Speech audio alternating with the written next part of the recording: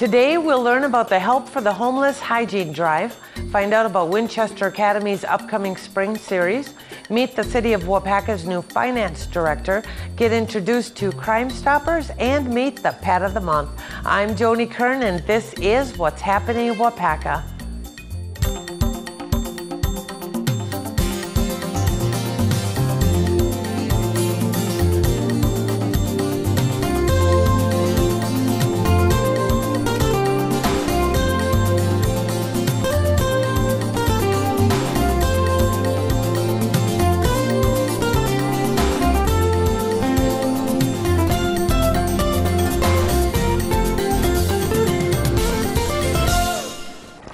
First guest today is Robin Madsen with Foundations for Living. It's good to see you again, Robin. It's good to see you too, Joni. Haven't seen you good. since. Thank you. I haven't seen you since last winter. The day I went drove my car in Mm-hmm. Yeah, the ditch. right. Yeah, yeah. We won't. We won't talk about This that. This winter is much, much better. That's right. Um, we are going to talk today about the um, homeless help for the homeless hygiene drive. Correct. Now, tell me what that is. It is a drive, and um, it's a col- uh, for like three weeks, from February 22nd to March 15th. We have collection bins in different area pla- businesses and around the city that people can bring in their hygiene items like shampoo, toilet paper, um, um, those kind of things. Soap. I saw. Soap, yep. Yeah, I saw the whole list here. Um, d- baby care with diapers and wipes and those Mm-hmm. Yep. kinds of things. Yep. So this isn't something that Foundations of Living is doing. This is actually something that the family is. Yes, WEMI, the family, they, they sponsor this and we just get to participate in it. Is so everything that is collected here in Waupaca goes to three different agencies, Foundations for Living, CAP Services, and Ruby's Pantry. We will split up all of the product and it should last us all year long that we can give to the people who come into our office and That's great. clothes closet. So last year, how much was collected? Um, oh gosh. It was With all of it, it was close to 1.3 million dollars. We actually got um, the Golden Toilet Brush Award because it was our first year last year, and we collected probably about $15,000 with the product. Yeah, the state of Wisconsin was 273,000, so Yep. that's that's a ton of help It is. um, for and people who need those. Because and we were just talking about this before I came on. The reason that they need help with the personal care items so badly is Because food stamps doesn't cover it. so I can buy a bag of Doritos, You can. but I can't buy toilet paper. Nope. And that is something, so this really is a program that's helping people who are struggling with the basic care necessities for their Yeah, home. Those, those basic necessities that we often take for granted. Yeah, like shampoo and soap Mm-hmm. and toothpaste and toilet paper, you were telling me. You never know how good it is until. Until you don't have it. That's a little bit of an odd thought. Yes, it is. Um, it is. So when is this again? February 22nd to March 15th. Okay, and where can I find out where I can donate? Um, you can go on our website at www.foundationsforlivingwaupaca.com and we will have it posted on there and it'll, and it'll have a whole list of all the places you can donate. Because there's quite a few There's, there's 30, there's 30 sites this year that are, that are going to be collecting. in Waupaca. That is, so almost Mm-hmm. Yep. anywhere I go shopping. Yep. Will will have something that I can donate to. Yep. That's fabulous. They'll be there. That's great. Well, Robin, thank you so much for joining us. We'll Thank see you you. again one of these days. Yeah, I won't wait, I won't wait so long to come back. Hey, that sounds like a, I can't believe it's been a year already. Isn't something? Got Yeah, lots of stuff going is. on that I can share with you. Oh, that's good. Robin with Foundations for Living. Thanks again. Thanks, Joni. Next, we are going to be talking about the spring series with Winchester Academy.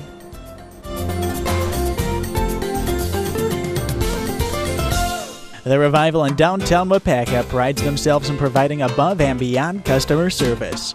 From small to tall, women of any age can consider the Revival your professional personal stylist, helping you find the right outfit for any occasion, weddings, senior pictures, or even a special night out. The Revival also specializes in home decor with a large selection and variety of items to choose from, including art from local Waupaca artists. The Revival, 111 West Fulton Street across from Farmer State Bank, downtown Waupaca. For more information, call 714 215 281 5100 or find them on Facebook. The Revival Home, Art, and Fashion. Our next guest is Ann Linden from Winchester Academy. Welcome to the show, Ann. Thank you, Tony. It is always nice to talk to Winchester Academy because you guys always have programs that are going on, and it's a huge variety of programs. So they've got their spring series going on, and there are seven. We have seven items in there, and we're just going to talk about a few of them. The first one is an author coming, and I didn't know about these baseball players who are Wisconsin natives. So tell us about that. Okay. Um, well, our author speaker is named Joe Niese, and he's coming to us from Western Wisconsin. He's a librarian and particularly a sports researcher. And he's going to talk to us about Burleigh Grimes, who was the last legal spitballer in Major League Baseball. When they changed the rule to outlaw um, spitballing, they allowed people that were already practicing that to do it, and he was the last one to, to live and, and practice that uh, technique. Or I'm, I'm not a sports fan, so I don't know what you even call that stuff. but anyway, he's one of the subjects, and the other one is uh, Andy Pafko, who was really popular. He was a big fan favorite, um, particularly with the Chicago Cubs. And since we have such a, a large population of uh, Chicago visitors and residents here now in Waupaca, it'll be of particular interest. Oh, yes, it will be. And talking about baseball players, the old ones are, I mean, we all hear about Hank Aaron, mm-hmm. but obviously he wasn't the only baseball player there was. So it's nice to hear about some that are Wisconsin natives because that's always something, you know, you say, Did you know they were from Wisconsin? I yeah. mean, that's always, that's bragging rights for us here. That's so right. that's pretty cool. And then you have another, um, this spring, you have another program with an author. So tell us about that one. Okay, well, actually, it's a professor, and he's collected an anthology of writings about um, that were written reflecting on or uh, during or about World War I. And we're currently in the 100th anniversary of World War I, so there's a kind of a renewed interest in that area yeah, and my husband actually really enjoys studying the world wars. So that's something that's of a lot of interest, especially to vets, yes, veterans. Yeah. And the speaker is uh, Scott Emmert from UW Fox Valley. Oh, that and is so going to be that's going to be great. Now, you were telling me that this is, this spring is your 600th program. Yes, ma'am. You guys have been around for a while. We are coming up on our 25th anniversary. We'll be celebrating that in 2016. That and so amazing. as kind of a lead up to that, we're making a big, kind of a big deal out of our 600th program. Well, you should. Absolutely should. And the other one, for those of us who um, like to be outside a little bit, your other program is about bird watching. That's right. Um, we're bringing back uh, Brett Barker from UW Marathon County. He's spoken to us three times previously on various topics related to the Civil War. Um, he's a great teacher, a great speaker, has a lot of passion for his subjects, and he's going to talk to us about one of his um, personal hobbies, which is bird watching, and uh, James Audubon. So I can actually go to this and learn what the birds are that because I have some of the prettiest birds. I don't have any idea what any of them are unless it's a robin or a crow or a pigeon or something like that. So, do you have anything now this is a whole series. So how often do you run these programs that you have? Is it weekly or bi-weekly? No, we do about 20 to 24 programs a year and um, we divide them into three series. We do a winter spring that runs somewhere late January to early May.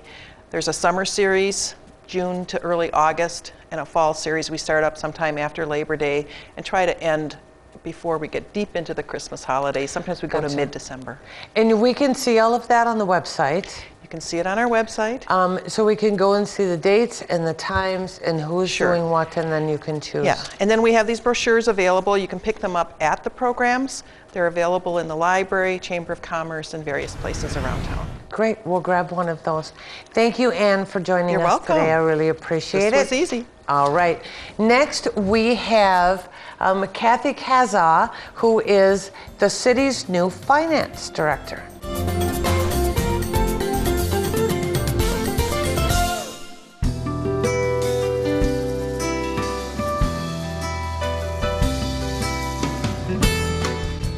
Welcome to the Waupaca Area Public Library. At our library, we have programs for all ages, starting at birth to adult and beyond. In our children's department, your children may attend children's story time, or for your really young child, we have Baby Garden. The teen room is for teens from grade 6 through high school, and we provide lots of services and programs in that room as well. We're not just about books. We have DVDs, we have music, we have puzzles, and we have lots of space for community activities. We have meeting rooms for public use, and our Winchester Academy of Waupaca uses our meeting rooms almost every Monday night.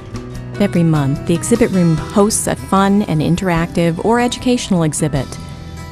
The exhibits are free, open to the public, and geared towards all ages. They're open during regular library hours.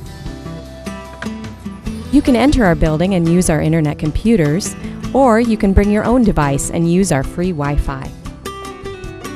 Our friendly staff is available to assist you with all of your information needs at the information desk or at the main desk. There is staff in every department during our open hours. One of our newest services is ebooks and downloadable audiobooks. You can access them through InfoSoup, our online catalog. Our catalog has materials from all 50 libraries in our consortium, and you can reach our catalog at infosoup.org from any internet computer. The library has plenty of great books, but so much more to offer. So stop down at your Waupaca Library today.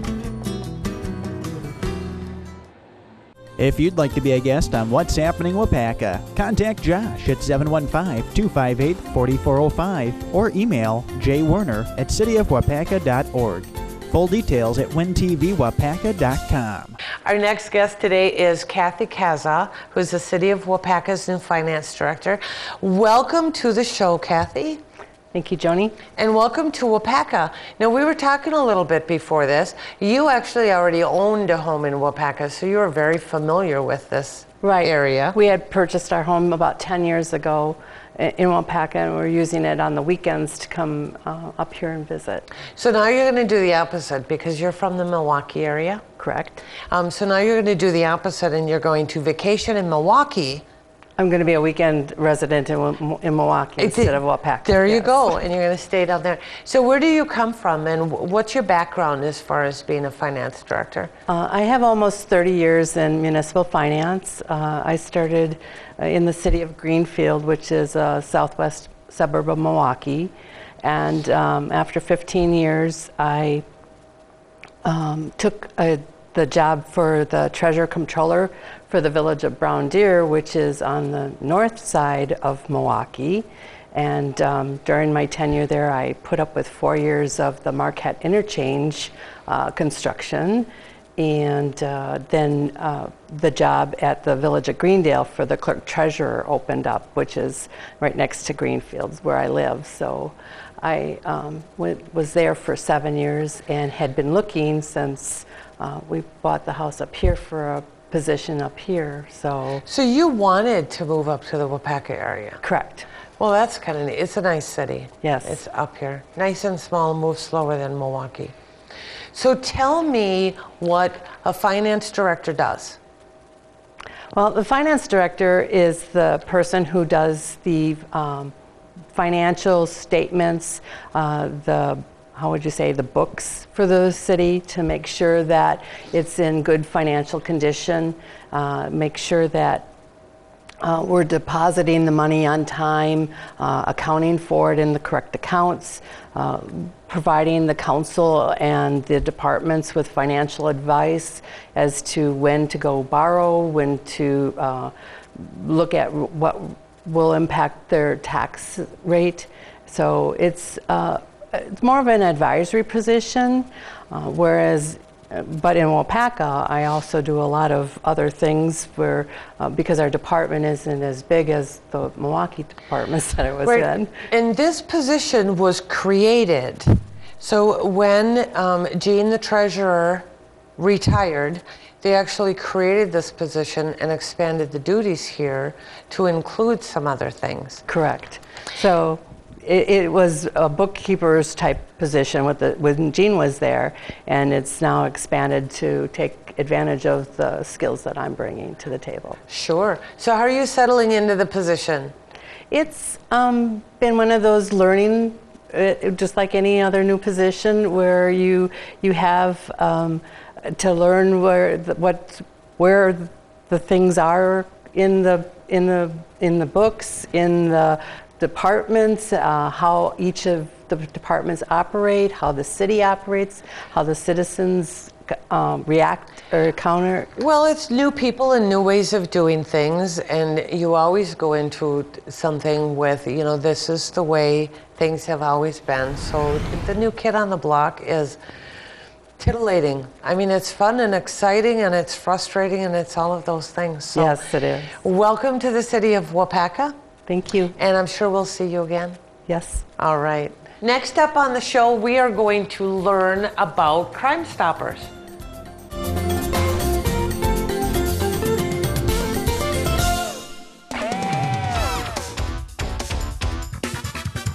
The Waupaca Recreation Center, featuring programming for all ages. Home of the Waupaca Senior Center and youth programming Friday and Saturday nights, featuring two full gyms and space for various sports and activities. Visit the Dance Exercise Studio for a variety of classes. The Rec Center is a safe place to hang out. Also featuring a computer lab and classes, and a meeting room and other facilities available for rent. The Rec Center features different programming and meetings, and is the home of the Parks and Recreation Office. The Waupaca Recreation Center, a great place for all ages and activities. 407 School Street, downtown Waupaca. Our next guest on today's show is Brian Hosel, who is a detective with the Waupaca Police Department. Welcome to the show, Brian. Thank you. It's good to have you on. Now, you are here today to talk about Crime Stoppers and how we can help the police solve crimes or stop them when they're in the middle of them. Now, Crime Stoppers has been around for a long time. We all remember hearing about it forever and ever. Um, so how do I, how does it work in the city of Waupaca? Well, um, Crime Stoppers, it's, it's a nonprofit organization. And on a monthly basis, there's a group of law enforcement and a group of citizens from Waupaca County that get together. And we meet on a monthly basis and talk about different um, crimes that have happened in the community and one of the things that we came up with over the last few years was a program that was called TipSoft because years ago, all that there was was just a phone number when somebody saw something that was going on for them to call in. With the new technology and everything with the smartphones and everything else, we decided to go out and get this TipSoft program because we were only getting 12 tips a year so people can, with TipSoft, they can text? They can actually text the tip in as it's going on. And what happens is, as soon as that text is sent, it actually pops up in the software and it sends an alert as an email to um, the officers, the administrators that have that, so it actually goes actually into the dispatch center when that tip comes in, and we can open that up and we can actually see something that's going on. So you can respond. Say I'm on the street and I see someone um, that is breaking into a house. I mean, you can respond literally within a few minutes with the TipSoft. Yes, correct? If, yes. If I'm working, I can actually go onto my computer I'll see that that comes in and I can, can actually communicate back and forth with you by typing into it. And what's really neat about it is you are truly anonymous. How can I be anonymous if you are talking back and forth with me? Because we're communicating back and forth through the computer. Right. And your name does not pop up. Only a number actually pops up with some letters. That's how you are identified. Oh, so once I've sent you a text, then it it does not keep track of my phone number or my name or anything. Nope, everything. It just assigns me a random name. A random Num- number. random with, number. With letters. Well, that's kind of nice because sometimes we're scared of the repercussions if somebody finds out that it was me that that called the police and gave a tip or texted then I mean that can stop us because we don't necessarily want to get ourselves into trouble. And I think that's what the biggest fear was when people are afraid to call in on a phone line, somebody's going to recognize somebody's voice. Sure. But when we enacted this about two and a half years ago, um, we went from getting approximately 12 tips a year. Um, over the last few years, we've gotten in between 60 and 70 tips. And they've really helped us in solving crimes because the people are out in the community, there really are eyes and ears as to what's going on.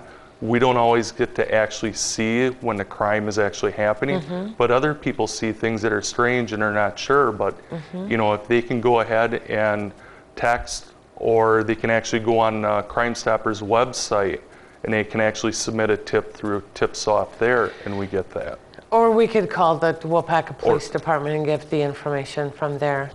right, well, right? correct. Good. So, um, yeah, it's real easy. We have brochures that are at all the local law enforcement agencies, and it's just as easy as typing in the, the number when you, instead of a phone number, you type in 274637, and then you begin your text out as Waupaca, and you type your information that's in there, and as soon as you hit send, it comes to us right away. Sounds good. For those of us that text. Correct. I don't actually text, but for those who do, that's a great thing. So thank you, Brian, for being on the show today. I appreciate your time and I appreciate things at Crime Stoppers as well. All right, thank you for having us. You bet. Next, we have the pet of the month, and it is a cutie. WinTVWaupaca.com, your official online home of WinTV. Let us know about your upcoming community events to promote on WinTV.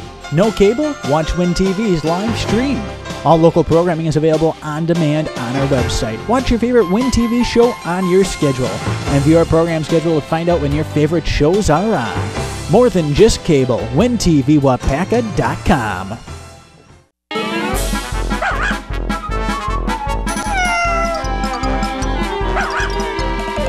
We have Monica Gardner back again. It's so good to see you. This month, for Pet of the Month, you have a little tiny guy. It's a girl. It's a girl, Her name is Velma, and she's only about eight weeks old. and she's a Chihuahua I think so, yeah. or a Chihuahua mix. Something like that. Yeah, she's cute. Yeah. She is just a deep, dark brown and very friendly. You can tell she's just a puppy because she's Mm-hmm. Yeah. after my fingertips. She likes lots of attention. She's going to be a very spoiled little girl, I think. yeah. So at eight weeks old, is she ready for adoption yet, or Not, quite. Um, she has an appointment with the vet, I think, on um, February 17th. So by the time this airs, I'm hoping that she'll be spayed and with her brothers and sisters, all of them will be ready to go. Wonderful. She is adorable. And one of the things we want to keep in mind is that puppies are some, something that is sought after very much. Yes. So if you want a puppy, you need to get your application in, get approved so that you can choose one of these little ones when they're ready to go. Right. She's she's a little crier. She doesn't know what's going on. She's adorable. I love the huge ears that are going on. Okay, so how do I find your place? Okay, well, everybody kind of knows where Fleet Farm is, and everybody kind of knows where the airport is. Mm-hmm. So if you think of the frontage road that goes in the front of the airport, we're like the back road that goes behind the airport. It's called Commercial Drive. Uh-huh. So if I if I dri- if I turn opposite from going toward Fleet Farm, then I come to a T, and to get to you, I take a left. To get to the airport, I take a right. Correct. So, and quickly, just what are your hours? Oh boy. It's I mean you're open Monday. You're closed on Tuesday. Monday and Thursday, we're open 12 till 3. We're closed on Tuesday. On Wednesday and Friday, we're open 2 till 7. Saturday 12 till 5, Sunday 11 till 1. And you can find all that on our website if you go to waupacahumane.org. Yep. So you can just drop in, you can fill out an application, you can take a look around Mm-hmm. if you want. And that, and I know that the hours are on the door as well, so if you miss them, you can come back. Right, and if you don't So- feel like running over, just go to the website because you can do the application, you can look at all the dogs and cats. Everything is on the website. And it's a new website, so check it out. Thank you, Monica. Thank you. We'll see you in three weeks. Yep. All right. Thank you for joining us for What's Happening in Waupaca. It's hard to believe spring is almost here. Our next episode features some great spring topics. See you again with a new episode starting the week of March 15th.